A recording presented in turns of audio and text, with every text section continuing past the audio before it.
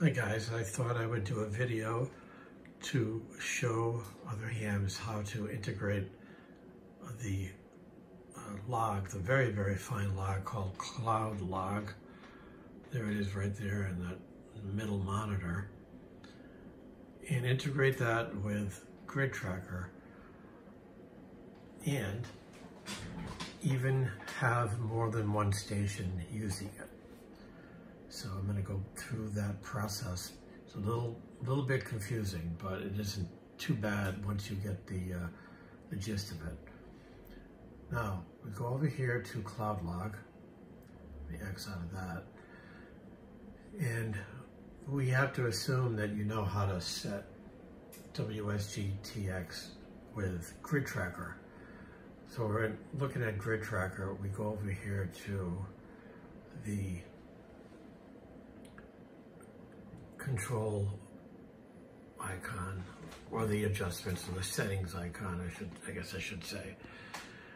And in this list, you have the various loggers that um, you have set up so that WSJTX, when you hit log QSO, it goes to your various loggers here. You see QRZ.com, Club Log, all the big ones. So I happen to need to use these two. But CloudLog is um, the one that we want to use. There's been a lot of confusion about what the correct URL is. So the correct URL is https colon forward slash forward slash and your call sign dot cloudlog dot co dot uk slash index, let's get a little closer here,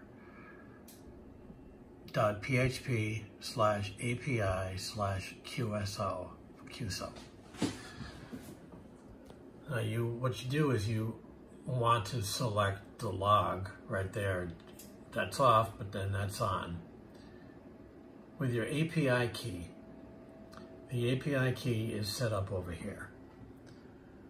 Go into uh, into here, into my, um, this happens to be the ham radio club that uses this, this station here, and use API key. That is the API key there that you've created, a read and write API key. This was created from that. So what you do is you copy that to clipboard right there, and you come over here and you paste that into the API key.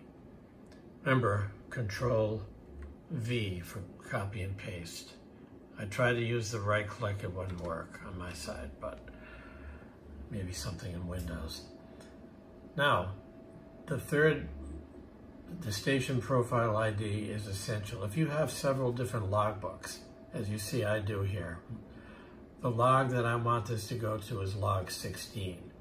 Now here, I'm gonna show you, it took me a long time to find out how to find my log, the name of my log. So go up here to your um, control panel uh, in Cloud Log, go to station locations, and there it is, right there. The log that I wanna log to is 16. That's the main, um, this, these are all the club stations that, uh, the club call signs for that club, past call signs and, and current. So ID is 16, so that 16 needs to be in here. And um, when you click test, you'll see that it passes. Now, it doesn't, you don't know which you have to put the correct ID in because if you don't, it'll it'll it'll log to one of the other IDs. Um, it just happened to when I created this cloud log setup here, it created these IDs. So you have to match the ID for the logbook you want in cloud, cloud log to Grid Tracker. Now, here's the extra piece. Let's say that you have more than one station. I had to figure this out on my own. You go into um, go into your um, other. I'm going into the other station here, logging in. See, I have dark mode for the other one and light mode for this one. But anyway, um, into station locations. And down here, and these are all the station locations which correspond to the various call signs that I had in the past. Um, this is important that you get this. So the ID for, for my uh, main call sign here, my own personal call sign is ID1. So over here, you would put ID1, but there's a little issue. And the issue is this, Grid Tracker will not retain separate settings for um, for the various call signs or various logbooks or API keys. So there's a different API key for this log too. For this actual actually admin user account, my main one, W1AL.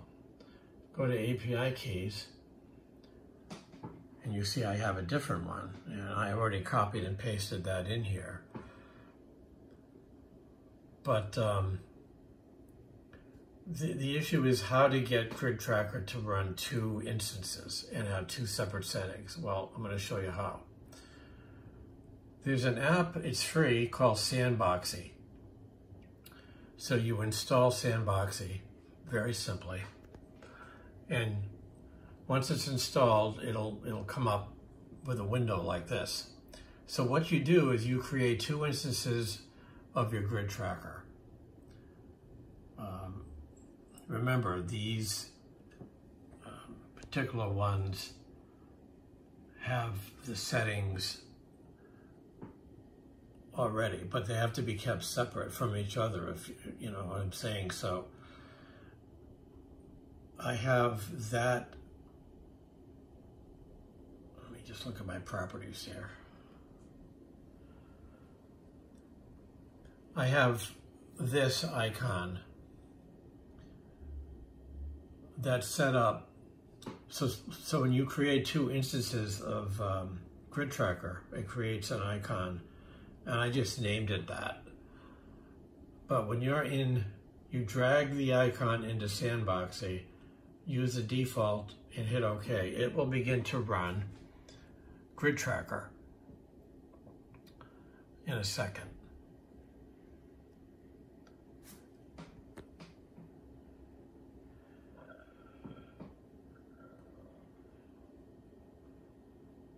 Oh, where is it?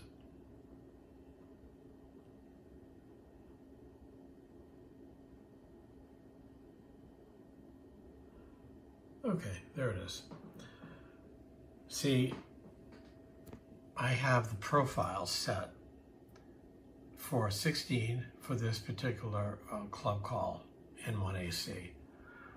So 16 is, as I showed you earlier, corresponds to the station profile ID. And that will passes there. But um, the log with that station ID will log all these um, all these QSOs when it's open here. But and here's what you want to be able to do when you want. Let's say I want to um, not use that, but I want to use my. I'm using my regular call sign here. The club is not active at the moment. So I go over here to Grid Tracker. I'm running a separate instance of Grid Tracker. Go into the control panel here and go into logging.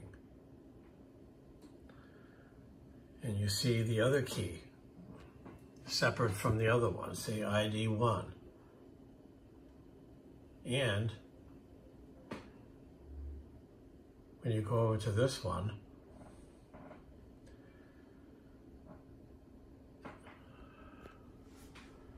you will see ID2. You see the two different ones here? There's two, and the yellow box is, is, is the one in Sandboxie.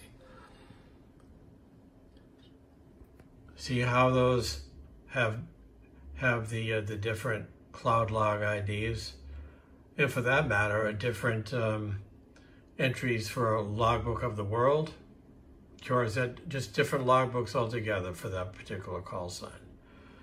That way you don't have to keep typing them in every time the club wants to use a station. Same thing, and it can be done with uh, multiple operators this way too. It doesn't have to be a club. And you see how that um, is different. So that's how you have two instances of Grid Tracker with two settings with different logbooks for different stations. I hope this helps you guys. Um, and of course, the two instances of Grid Tracker will help you whether you use CloudLog or not. But CloudLog um, was a little tricky for me to figure out, and I, I did figure it out, and uh, it's working flawlessly now. By the way, let me just shout out CloudLog. Um, I would say that it is the best up-and-coming law logbook there is. I've used them all. N3FJP is probably the best Windows-based one, in my opinion. Um, and that's only 40 bucks. But this cloud log is stupendous, absolutely stupendous. And uh, it, you can automatically upload QSOs from the logbook um, into other logbooks from here, but I prefer to use that for LOTW and CloudLog. Uh, excuse me, ClubLog and CloudLog. That's where I use here. And because LOTW is basically handled in CloudLog. So CloudLog does not have um, direct access to ClubLog, so I have to do it in Grid Tracker. And it does not have direct access. Well, I mean, you have to find a way to get from WSJTX into CloudLog, and that's what this does. So that's why I had to since I, I'm using this app anyway, um, I figured, well, I'll use it for Club, ClubLog in CloudLog.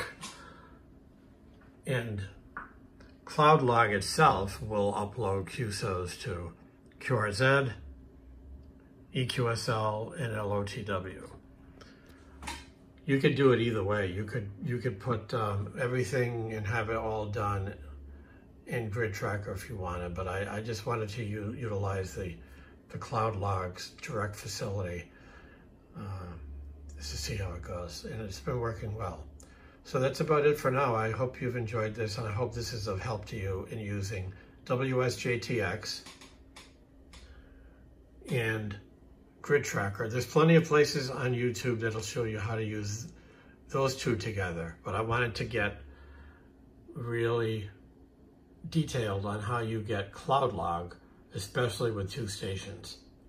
Okay, thanks guys. Sorry this is so long. We'll see you in the next video.